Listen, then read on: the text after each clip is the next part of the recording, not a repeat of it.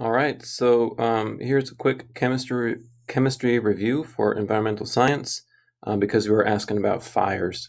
So um, we covered this in class. I just thought I'd, I'd throw the notes up there again on online. Here we go. So let's remember from biology that um, cellulose is what you know what trees are made out of, um, and cellulose altogether is just a bunch of glucose pieces that are um, stuck together. So glucose would be the monomer, the one piece, and cellulose is a type of polymer made out of many.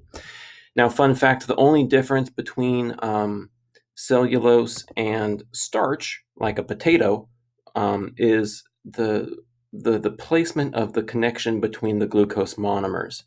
And one makes a potato, and the other makes a tree, and we can't digest trees. Anyway, um, when we light cellulose on fire, we burn a tree, or if trees are burning, because California is burning right now, um, it's so much like the chemical equation for respiration. So let's review the chemical equation for respiration.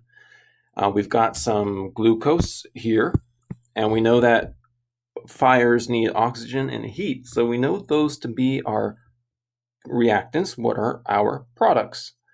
Um, well, you might say, I know that when you burn something, you get a little water out of it, and you get a little carbon dioxide out of it, and you get even more heat out of it.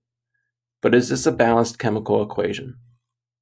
Now, since we balanced this in class, I'm just going to move ahead a little faster. We need six pieces, six molecules of carbon dioxide, and six molecules of water.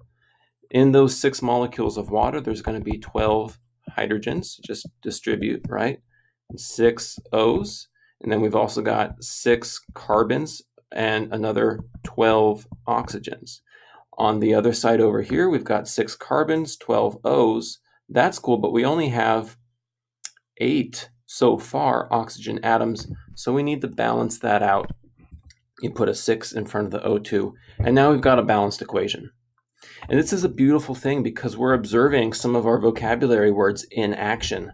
We've got the law of conservation of mass shown. No atom is being created, no atom is being destroyed, they're just moving. And even the energy is not being created or destroyed.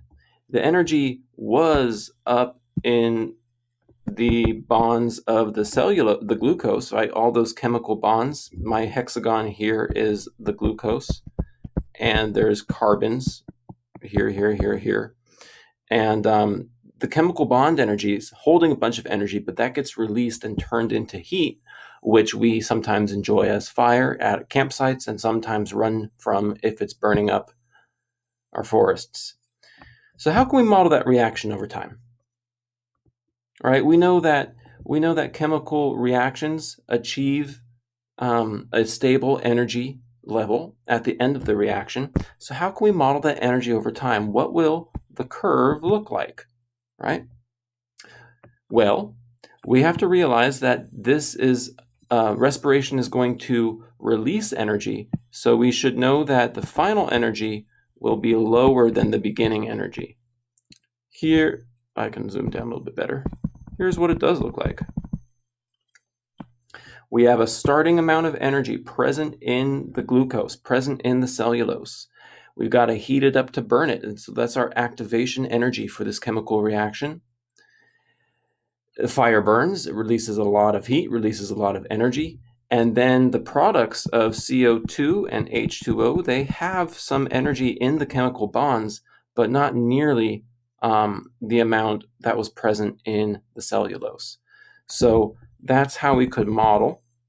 And this is important because we're going to start studying ecosystems and, and remember how everything is connected. So, where is the matter? Where is the energy flowing within our Earth systems? So, I want to make a quick model for you about Earth systems. I have a green Earth. I have two green Earths, lucky me. And um, we can generally think of sunlight energy entering the Earth through the atmosphere. And yes, some of it bounces off as heat. And when half of the Earth is not facing the sun, more of it bounces off as heat. Um, not all, some of it just bounces off the atmosphere, but a lot of that energy makes it into the planet. It's captured by the plants, and the plants can make glucose.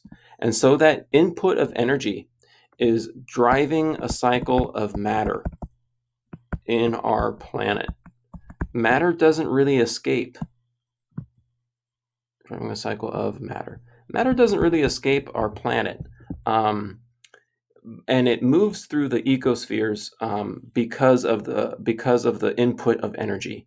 Um, yes, matter does leave our planet a little bit if we ro- launch a rocket ship into space, and the occasional hydrogen or helium atoms that are way up in the atmosphere, way up high, they are slowly leaving our atmosphere, but those are really negligible amounts. So for um, our purposes, let's just stick with the assumption that by and large, matter doesn't leave the Earth.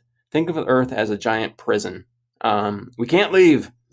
Anyway, quick chemistry review using some of what we learned in Module 4, bringing back some stuff from chemistry class. And with this understanding, let's get into ecosystems. Let's be awesome, read fearlessly, and uh, press ahead. All right, class, I'll see you in time. Bye bye.